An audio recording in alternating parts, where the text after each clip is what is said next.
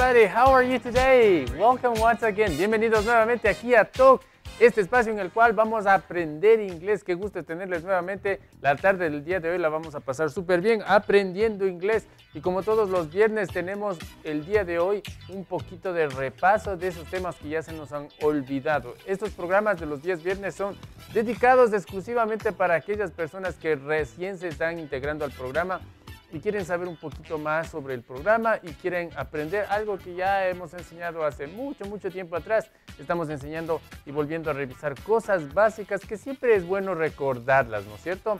Así que el tema del día de hoy tiene que ver con el uso de los posesivos. Ya vamos a ver qué es eso de los posesivos. Vamos a echar un vistazo un poquito después.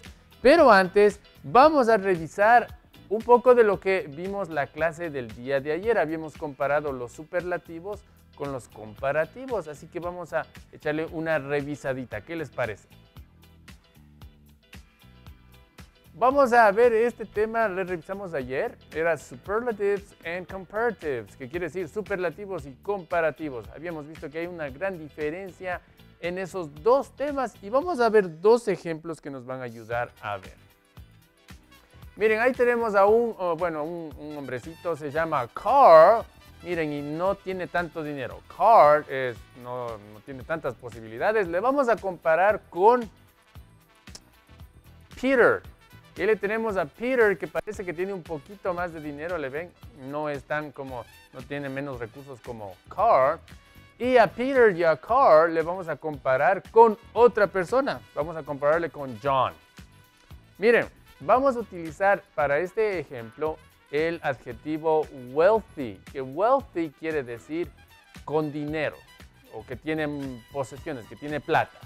Peter is wealthier than Carl. Quiero que observen el cuadro, ahí tenemos a Peter y tenemos a Carl. Estamos diciendo que Peter is wealthier than Carl. Dice que Pedro, dice, es más platudo, o sea que tiene más dinero que car. Y pueden ver ahí en la foto. Ahí, ¿qué estamos haciendo? Estamos comparando. ¿Cómo nos damos cuenta? Ahí tenemos los elementos. Tenemos wealthier, wealthier. So he's wealthier than car. Wealthy quiere decir adinerado. Entonces Pedro es más adinerado que Car.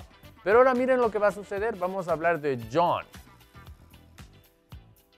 But John is the wealthiest of them. So he's the wealthiest of the people who is in the picture. John es el más adinerado. He's the wealthiest. ¿Dónde está el superlativo? Ahí miren, está de color azul. Pónganle atención. Dice the wealthiest. So Peter is the wealthiest of them. ¿Ok? Vamos a ver la diferencia entre estos dos. Miren, wealthier than quiere decir más adinerado que, más adinerado que. En cambio, the wealthiest quiere decir el más adinerado.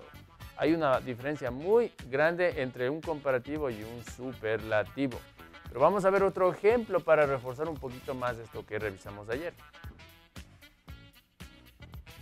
Ok, vamos a comparar estos tres medios de transporte. Tenemos primero una bicicleta, ¿no es cierto? Luego tenemos una motocicleta, a motorbike y a car. Vamos a comparar estos tres elementos, sí. Vamos a ver cuál de ellos es más costoso. Oh, no, perdón, cuál de ellos es más rápido, I'm sorry. The motorbike is faster than the bicycle. Miren la oración, vamos a leer la oración nuevamente para que ustedes puedan analizar lo que estamos diciendo ahí. Dice, the motorbike is faster than the bicycle. Dice que la motocicleta es más rápida que la bicicleta, es más rápida. Pero ¿qué estamos haciendo aquí? Estamos comparando, ¿no es cierto? Miren, ahí tenemos los elementos. Faster, faster than. So the motorbike is faster than the bicycle. Es más rápido que la bicicleta. Pero ahora vamos a ver qué sucede con el automóvil. The car is the fastest way to commute. Ahí tenemos una oración. Bueno, ahí tenemos una palabra nueva también que dice commute. Commute quiere decir ir al trabajo. So the car is the fastest way to commute. Dice el carro, el automóvil es la forma más rápida de ir al trabajo. ¿Dónde están los elementos que lo identifican como superlativo? Están justo ahí, miren, dice the fastest. So the car is the fastest way to commute. Vamos a diferenciar entre los dos. En el uno dice faster than, que quiere decir más rápido que. En cambio, en el otro ejemplo dice the fastest, the fastest, que quiere decir el más rápido. Entonces no es lo mismo decir más rápido que que decir el más rápido, ¿no es cierto? Y esa era la diferencia principal cuando estábamos eh, viendo superlativos y comparativos. Y si quieren ver un poquito más de eh, esta clase, no se olviden, pueden visitarnos en Facebook y en YouTube, revisar la lección del día de ayer, ahí se encuentra. La lección del día de hoy es, la bueno, es una topic review, ¿ok? Pero ustedes la pueden revisar, la lección del día de ayer, en Facebook y en YouTube. Al final le vamos a dar nuevamente a ustedes la dirección donde nos pueden buscar. Vamos ahora sí con el tema de la clase del día de hoy. Miren lo que vamos a revisar. So for today we have, well, obviously every Friday we have a topic review. Sí, tenemos un topic review every Friday, todos los viernes. Y vamos a hablar el día de hoy de possessives. ¿Qué es esto de possessives? Possessives, ¿qué son los posesivos? Bueno, vamos a irnos al pizarrón muy rapidito para indicarles y hacerles acuerdo qué era esto de los posesivos. ¿Ok? Miren, estas palabritas que vamos a escribir en el pizarrón son muy familiares para la mayoría de ustedes. Pero si ustedes no han visto con mucha regularidad, regularidad estas palabritas, sí, estas que vamos a escribir en el pizarrón se llaman posesivos. ¿Por qué? Porque indican posesivo. El más fácil, este de aquí, miren, dice my. Todos sabemos que aquí my quiere decir mi o mis. Inmediatamente después de my vamos a colocar aquí algo, lo que ustedes se les imaginen, cualquier cosa.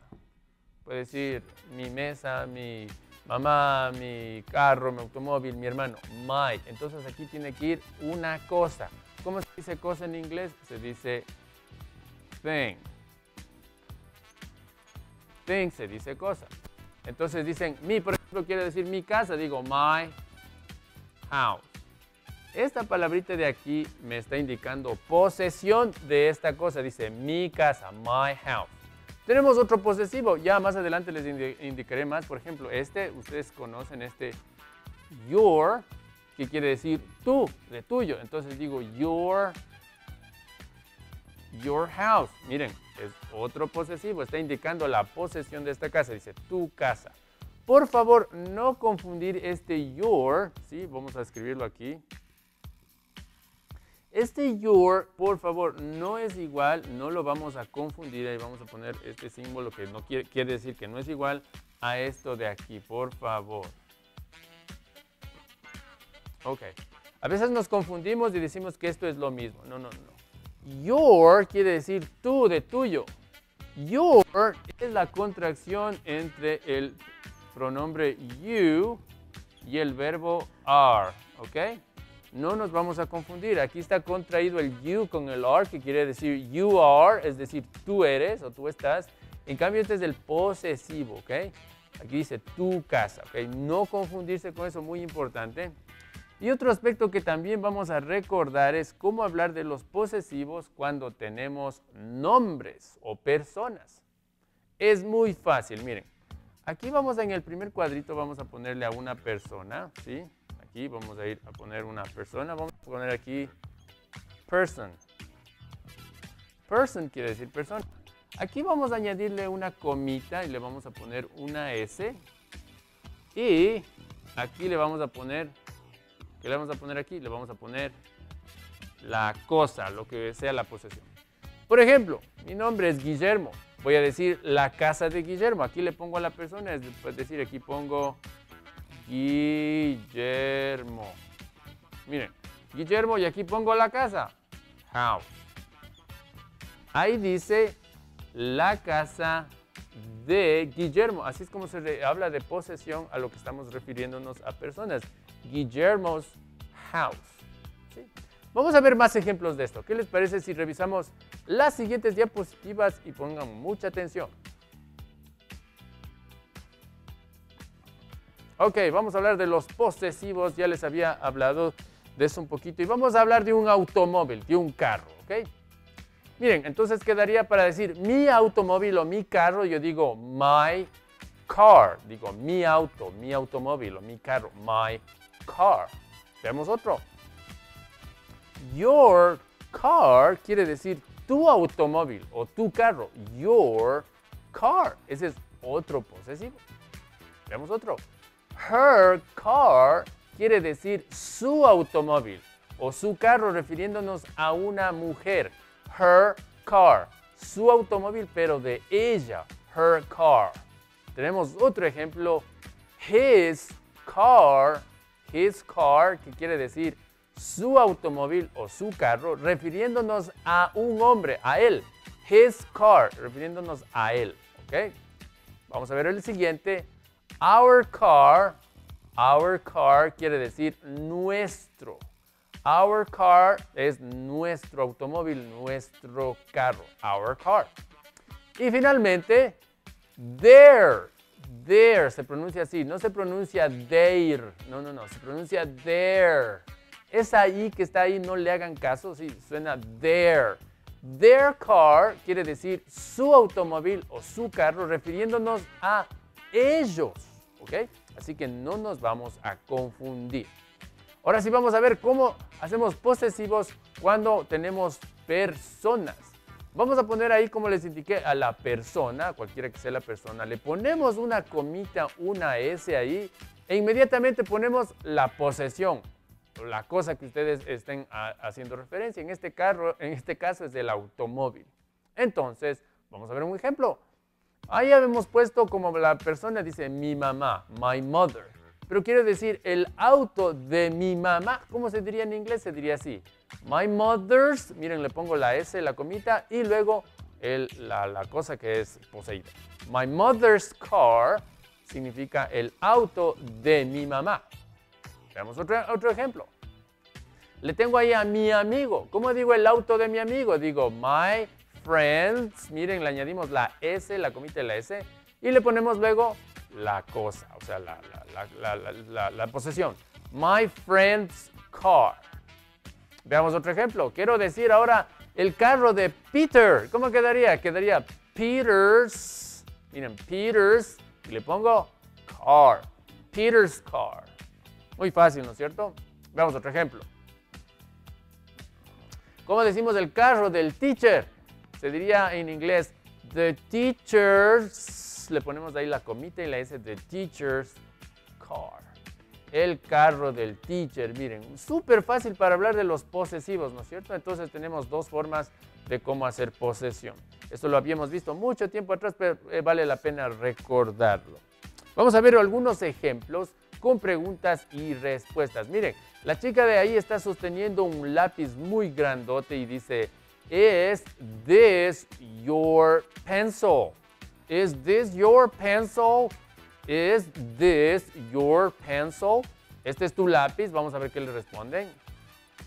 Yes, it's my pencil. It's my pencil. ¿Dónde está el posesivo ahí? ¿Dónde está? A ver, Exactamente, está ahí, dice my pencil. Dice, sí, es mi lápiz. Is this your pencil? Yes, it's my pencil. Miren, aplicando el, posesivo para la primera persona, my pencil. Vamos con el siguiente posesivo. Miren, ahora la chica sostiene unos zapatos y dice, are these my shoes? No está segura si son los zapatos de ella. Dice, are these my shoes? Dice, ¿son estos mis zapatos? Are these my shoes? Vamos a ver qué le responden. Are these my shoes? Yes, they are your shoes. They are your shoes. ¿Dónde está el posesivo? Ya lo identificaron, ¿no es cierto? Está justo ahí. Dice your shoes. They are your shoes. Dice son tus zapatos. Are these my shoes? Yes, they are your shoes, your, your shoes. Ok, entonces ya vimos my shoes, your shoes. Vamos a ver el siguiente posesivo. Ok, y miren, el joven de ahí nos está ofreciendo la silla para sentar y nos pregunta, ¿es this your chair? Is this your chair? Is this your chair? Esta es tu silla. Vamos a ver qué le respondemos, o más bien qué le responden a él. Dice, no, it's the teacher's chair. No, dice, it's the teacher's chair. Esta es tu silla. No, dice, es la silla del teacher. ¿Dónde está el posesivo? ¿Dónde está? Dice, the teacher's chair. Observen que ahí está el apóstrofe y la S. Is this your chair? Dice, no, no, no. It's the teacher's chair. Es la silla del teacher, del profesor. Pero también puedo decir que es la silla de él. ¿Cómo digo eso? Digo, it's his chair. Miren que ahí tenemos el otro posesivo haciendo referencia a él. Digo, es la silla de él. It's his chair. It's his chair. ¿Ok? Así que no tenemos que confundirnos. Vamos a ver otro ejemplo. Ok, y aquí miren, está sosteniendo la, bueno, ahí la jovencita, no sé, una señorita está sosteniendo unos aretes y dice, Are these your earrings? Are these your earrings? ¿Qué significa eso? Quiere decir, son estos tus aretes. Vamos a ver qué le responden. Are these your earrings? ¿Son tus aretes? Dice, no, no. They are Jenny's earrings. Dice, no, dice, son los aretes de Jenny. ¿Dónde está el posesivo? A ver, ayúdenme a identificar, a encontrar dónde está el posesivo. Are these your earrings? No, no. They are Jenny's. Observen cómo está la comita ahí y esa es Jenny's earrings. Son los aretes de ella, de Jenny. Pero ¿cómo diría en inglés? Son los aretes no de Jenny, sino de ella, de ella. Quiero utilizar el pronombre para decir de ella. ¿Cómo digo? Sería así. They are her earrings.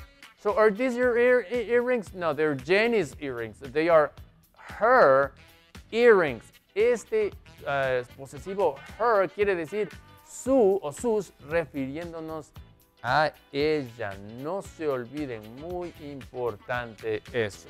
Bueno, pero tenemos que practicar más, ¿no es cierto? Vamos a ver más ejemplos. Dice, is this Peter's jacket? ¿Qué estamos preguntando ahí? Dice, ¿is this Peter's jacket? Ah, ¿no es cierto? Dice, ¿esta es la chaqueta o el saco de Peter? Vamos a ver qué responde. No, dice, it's Andrew's jacket. It's not Peter's jacket, it's Andrew's jacket. ¿Qué dice ahí? Dice, no, no es de Pedro, es la chaqueta de Andrew. Es la chaqueta de Andrew. ¿Dónde está el posesivo en esa oración? Ya lo pueden identificar, ¿no es cierto? Dice ahí, it's Andrew's jacket. So, is this Peter's jacket? No, no, no, no. It's Andrew's jacket. Pero también, como digo, es la chaqueta de él. It's his jacket. Is this Peter's jacket? No, it's not Peter's jacket. It's, it's It's his jacket. It's Andrew's jacket. It's his jacket. Es la chaqueta de él. Haciendo referencia a él. No nos vamos a confundir. Esto es muy, muy importante. Vamos a ver más ejemplos. Ok, aquí es muy interesante. Miren, ahí están las dos niñitas. Están diciendo, una dice, this is my room. This is my room este es mi habitación, esta es mi habitación. Lo mismo puede decir la otra niñita, ¿no es cierto? Y puede decir, dice, this is my room. Miren, las dos están diciendo, this is my room, this is my room. ¿Qué están diciendo? Esta es mi habitación. ¿Cómo dirían en inglés? Esta es nuestra habitación. ¿Cómo dirían eso en inglés? Esta es nuestra habitación.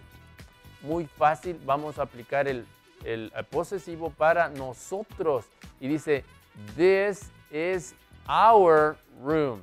Se pronuncia our, our. This is our room. Esta es nuestra habitación. This is our room. Ok, very good. Vamos con más ejemplos. Ok, y ahí tenemos, miren, tenemos tres personas y vamos a explicarles un poquito aquí. Esto es un poquito, no difícil, pero quiero que me pongan atención. Ahí tenemos a Mary, Mary, ella es Mary, pero también tenemos a Anne y también tenemos a Dylan. Ok, tenemos Mary, Anne y Dylan. Y podemos hacer tres oraciones refiriéndonos a la foto. Podemos decir que Mary is Anne's mother, ¿sí o no? Mary is Anne's mother. ¿Qué estamos diciendo? Que María es la mamá de quién? De Anne, ¿no es cierto? Mary es la mamá de Anne. ¿Sí? Pero María también es la mamá de quién? Es la mamá de Dylan. ¿Y cómo decimos esto en inglés? Decíamos, Mary is Dylan's mother. Mary is Dylan's mother. María es la mamá de Dylan. Ahora, ¿cómo diría que Mary es la mamá de ellos? De los dos. Miren cómo estamos ocupando ahí el posesivo their. Mary is their mother. María es su mamá, su madre, refiriéndonos a quién? A ellos, a los dos. Así que bueno, Vamos ahora a irnos al pizarrón un ratito, quiero que me pongan atención, vamos a hacer algunos, eh, unas pequeñas explicaciones acá, si me acompañan. Ok, cuando estamos hablando de posesivos, sí, suele causar mucha confusión, en especial cuando utilizamos este posesivo. His, el posesivo her y el posesivo their. Okay. Algo que tenemos que tener muy, muy en cuenta es que este his en español traducido es igual que al her y al their. Todos significan lo mismo, quiere decir su o sus. Pero ¿cuál es la diferencia? Cuando vayamos a decir, por ejemplo, su mamá, refiriéndonos a un hombre aquí, vamos a utilizar este. ¿Ok? Por ejemplo, digo, su mamá, digo his mother. Miren, estoy diciendo su mamá, pero tengo que tener en mi cabecita que estamos haciendo referencia a un hombre, ¿ok? ¿Qué tal si quiero decir su mamá, pero estamos haciendo referencia a una mujer o a una chica, sexo femenino? ¿Ok? Vamos a utilizar este posesivo her, ¿ok? Digo her mother. Her mother. No confundirse, por favor. Miren, aquí traducimos de español, dice su mamá, su mamá, pero aquí también dice su mamá. La diferencia es que aquí estamos haciendo referencia a un hombre y aquí haciendo referencia a una mujer. Este, en cambio, ¿qué pasa cuando utilizamos el posesivo there? There hace referencia a quién? A ellos, es decir, a los dos. Puede ser dos hombres, dos mujeres, o una mujer y dos hombres, lo que sea. La cosa es que cuando nos estamos refiriendo, a ver, pongámosle más bonita la flechita por acá. There está haciendo referencia a ellos, a ellos. Y si digo their mother, Si digo their mother, estoy diciendo su mamá, pero su mamá de quién? De ellos. Así que muy importante esta aclaración. Recuerden, aunque le traduzcamos en español, his mother quiere decir su mamá, de él. Her mother quiere decir lo mismo, su mamá, pero ¿de quién? De ella. Y their mother quiere decir su mamá, haciendo referencia a quién? A ellos. No olvidar. Y una cosita más, quiero explicarles esto antes de despedir el programa porque se nos está acabando el tiempo. Quiero que no se vayan a confundir en lo siguiente que vamos a explicar a continuación.